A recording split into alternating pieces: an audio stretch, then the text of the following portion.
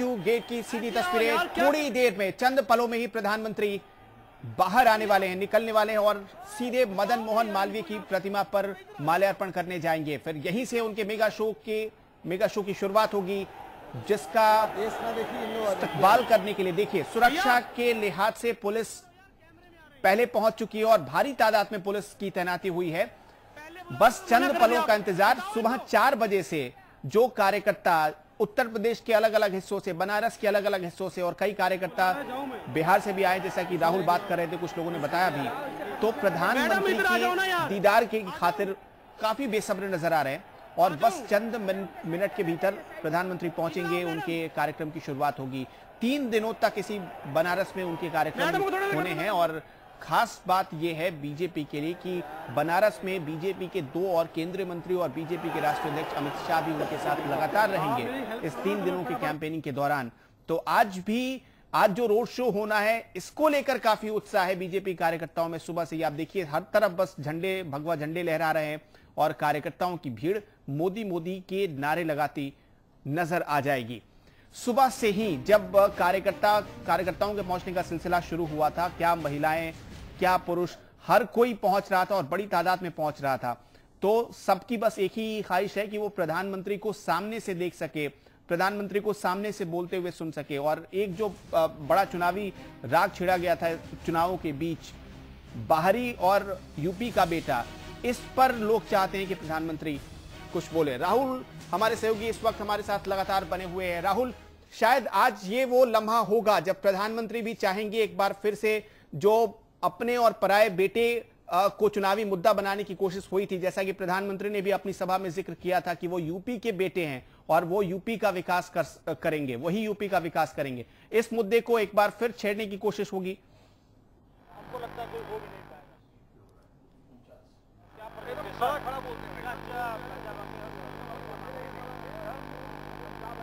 राहुल क्या आप मुझे सुन पा रहे हैं? लगता है राहुल से संपर्क नहीं हो पा रहा। सवाल बताइए अनुपम जी राहुल मैं ये पूछ रहा था कि क्या प्रधानमंत्री आज जब यहाँ पहुँचेंगे तो शायद लोग भी ये सुनना पसंद करें। उन्होंने जिस तरह से कहा था कि वो यूपी के बेटे हैं और वही यूपी का विकास कर सकते हैं और इसके समानांतर विपक्षियों ने जवाब भी दिया और आज उनका भी रोड शो होना है। जी निश्चित तौर से क्योंकि एक माइक यहाँ पे लगाया गया हालाँकि उसके बाद बेहद कम होने वाली है। उम्मीद 50-50 है, क्योंकि अगर इलेक्शन कमीशन की बात करें तो उनकी तरफ़ से कहा गया कि रोड शो नहीं है, ना ही रैली है। दूसरी तस्वीर आपको दिखा रहे हैं। प्रधानमंत्री पहुँच चुके हैं। उसकी तस्वीर। देखिए उनके काफिले के सुरक्षा घेरे के ठीक बाहर कैसे कार्यकर्ता भागे भागे आ रहे हैं। प्रधानमंत्री पहुँच चुके हैं बीएचयू गेट पर। और यहीं से पंडित मदन मोहन मालवीय की प्रतिमा पर माल्यार्पण करने के बाद उनके मेगा शो की शुरुआत होगी। आज उन्हें काशी विश्वनाथ के मंदिर भी जाना है और बाबा भैरव के मंदिर भी जाना है। दोनों जगहों पर पूजा अर्चना करनी है प्रधानमंत्री मोदी को। और ये तस्वीरें मोदी के स्वागत के लिए कार्यकर्ता खड़े थे, उनके पहुँचते ही मोदी मोदी के नारे लगने लगे हैं।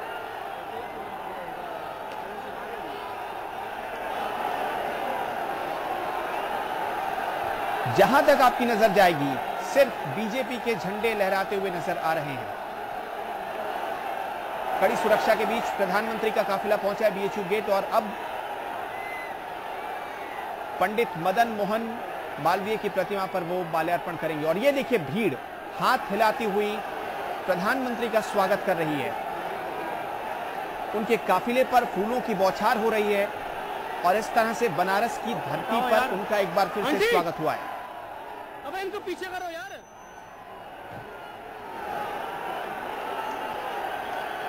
भैया!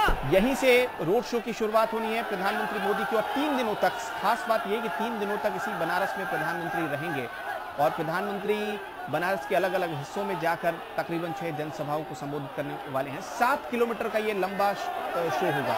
सात किलोमीटर तक का ये रोड शो होगा, और इस रोड शो के ज़रिए वो काशी विश्वनाथ भी पहुँचेंगे और बाबा भैरवनाथ भी पहुँचेंगे।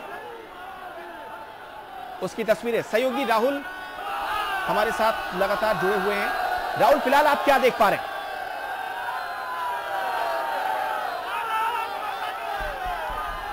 राहुल से संपर्क टूट गया तो एक बार फिर हम सीधी तस्वीर आपको दिखा रहे हैं। मदन मोहन मालवीय की प्रतिमा के पास पहुँच चुके हैं प्रधानमंत्री मोदी, लेकिन उनका काफिला जिस रास्ते से होकर गुजर रहा है, लोग हाथ हिलाकर उनका स्वागत करें और ये तस्वीर प्रधानमंत्री अब माल्यार्पण करने जा रहे हैं।